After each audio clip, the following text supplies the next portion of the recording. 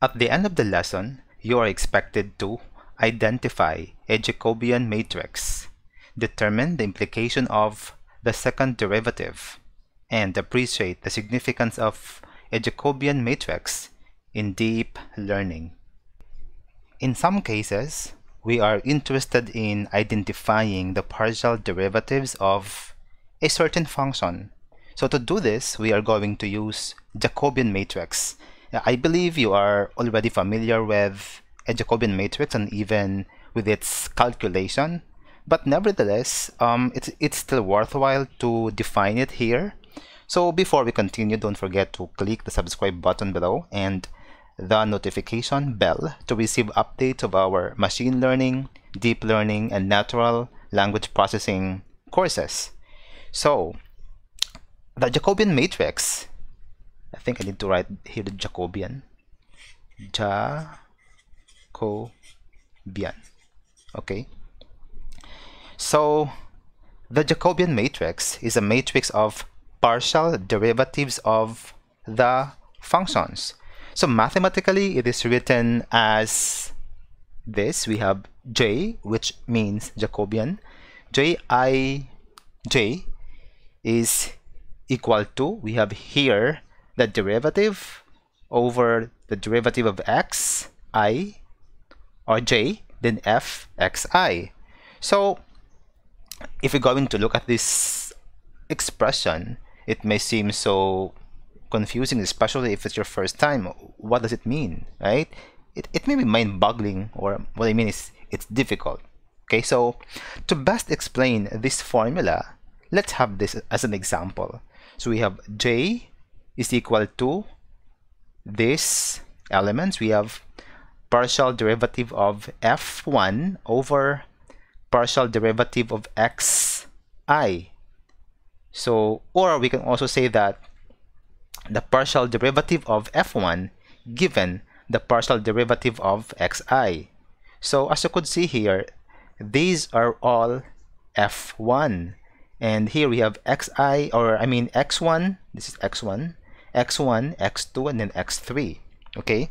And also at the bottom, we could see here that there is f2. So this is the partial derivative or derivative of f2 with respect to x1 then we have x2 and then x3 so this is an example of a Jacobian matrix so here we can see two functions so as what I've said we have f1 for this row and then we have f2 for this row so here there are three okay we have three shared variables so these variables are x1 x2, then we have x3. So the first row, or the top row, is a set of partial derivatives of f1 with respect to its variables x1, x2, and then x3. Similarly, the second row, the bottom row, is the set of partial derivatives of f2 with respect to three variables. Okay, so if a Jacobian matrix has only one function, just like for example, we only have f1, okay? So just like for example, again, we only have f1 or one row only. So it is expected that there is only one row of partial derivatives and so because there is only one row, it is the gradient of the function. So this is the situation actually um, of the first derivative. And if we would like to understand the real situation, and if we would like to understand where we're going, what kind of decision we're going to make, are we going to decrease or increase the learning rate? So remember our learning rate? So we discussed that in our previous lessons. So I'm going to provide the description in the, the, I mean the, the link in the description below so you would be able to or you can go back to lesson 18 for you to be able to understand clearly and significantly our lesson okay so again um, if we would like to understand the real situation, we want to go deeper, I mean deeper, and we're going to search wider about our data. So what is this? What does this mean? So we may as well would like to understand the second derivative. Okay? So this expression, this one, tells us all about it. So after taking the first derivative, so let me draw a line. Okay, so this is our first step, right? Now, after our first step, because we would like to know more about the situation, then we, we're going to understand the second derivative and how to do that. So this expression tells us all about it. So what does this mean? So this is the derivative with respect to xi of the derivative of f with respect to xj. So this is the case of having two dimensions. So when we say two dimensions, we have um, two functions. So if we only have a simple dimension, for example, we have only one dimension, then we can have this. So we have the partial derivative or the, the second partial derivative over or with respect to the partial derivative of x of the function f. Okay, so we won't go into the step-by-step -step process of computation or calculation. There, there are actually a lot of um, tutorials here that can teach you about a step-by-step -step computation. So what we'll deal with in this lesson is that the importance and the implication of the partial derivatives, I mean the second partial derivatives. Okay, so the second derivative is very important in the sense that it provides a picture of how the first derivative will change if we change the output. So another thing about its significance is that it tells whether a gradient step will make an improvement as expected. So this is only based on the gradient. So in other words, we can say that the second is a measuring curvature, this one. Again, we can say that the second is a measuring curvature. So in other words, if we have this, we can gauge or we can identify, we can describe what is wrong with this data. Are we doing good or are we doing bad? Are we going to make some kind of adjustments with respect to our learning rate? What? Okay, so measuring curvature is described by this or these illustrations. So we have illustration 1, we have illustration 2, then we have illustration 3. So our illustration 1 is negative, uh, our, number 2 is none.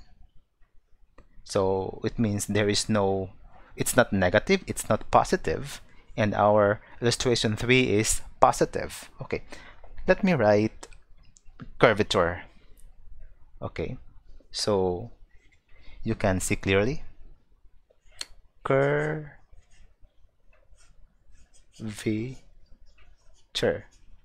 Okay. So that's uh, measuring curvature. Okay. So what does each illustration mean?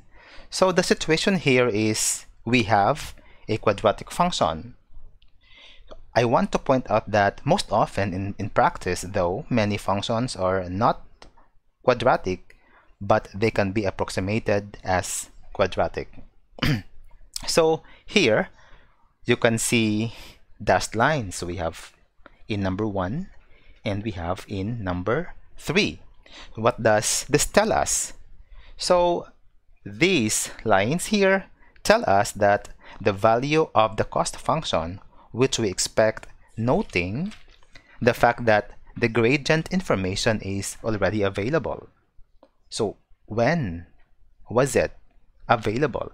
So it was available during this during this stage, okay? Because we did our first first jump, right? I mean, um, first first step. But then because we would like to know more about our step, then we get the partial second partial derivative. Okay. So this is so because we have already made a step downhill doing our first derivative. So now we're going to have one by one. So let's have the negative curvature. So what is in here? So as you can see, the curve is downward. So it starts from here. It, it actually it actually goes up for a little while, then it goes down. Okay, so this is or this in effect or this dec uh, decre this decreases the cost function more than what the gradient predicts. Again, let me repeat that for this kind of situation. So this is in effect decreases the cost of function more than what the gradient predicts. So remember our prediction. So we had that in our previous lesson because we did our um, linear regression, simple linear regression. Okay, so these are actually um, used if you would like to make some kind of predictions and how or how big or how small the step should be taken. Okay, so please review that or please go back to that lesson. So what if there is no curvature just like for example we have here in number 2? What does it mean? So it means that a function has a second derivative of 0. So we can see here a flat line. So you could you could see that there is no curve. Just flat from this point or from this point going to this point. Okay? So this means that our gradient predicts the decrease correctly. Again, there is a correct prediction of the gradient um uh, I mean the the, the the decrease. So it means that it's good. So from this very first stage or first step when the result of our partial second partial derivative is this then it's perfect. Then of course you can save your time you can save your money you can save your energy. So let's go to number three. So in our third scenario we can see a positive curvature. Why positive? Okay it first starts to go down but eventually it goes up right? From this point it goes up. Okay so although the curve is going upward it means I mean uh, I mean the curve is going upward as what I've said okay? So it means that the cost function decreases slower than expected and then it eventually increases. So with this we can say that if we utilize a large learning rate it can cause inadvertent increase in the cost function because this may result to overshoot. What is this for? Why do we have to study this?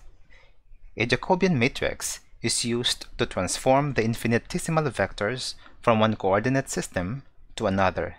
It is used in calculating neural network gradient. After all being said and done, let's try this. What is a Jacobian matrix? How does it affect a certain function? Why is it significant in deep learning? Please leave your answers in the comment below so we would be able to, to exchange ideas for a very rich discussion and you and I can learn from each other. Do not forget to subscribe, like, and share. Please click the bell button to be notified every time we have a new session. See you in the next lesson.